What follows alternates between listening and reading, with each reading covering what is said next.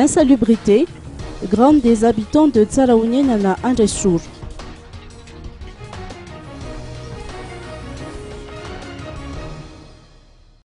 Cela fait un bon bout de temps que les bennes de ramassage d'ordures ne sont pas passées dans le quartier de Tsaraouninana Andeshour.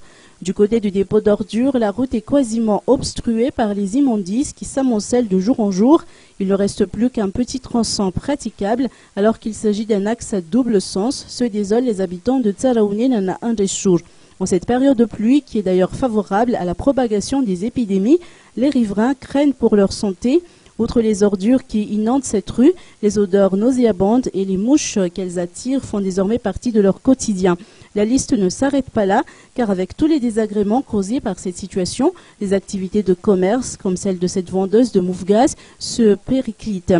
Selon ses dires, elle a perdu une partie de sa clientèle, son échoppe se trouvant non loin du dépôt d'ordures. Ce n'est pas la première fois que ce quartier est confronté à ce problème lié à l'amoncellement des ordures. Cette fois-ci, néanmoins, il a pris de l'ampleur.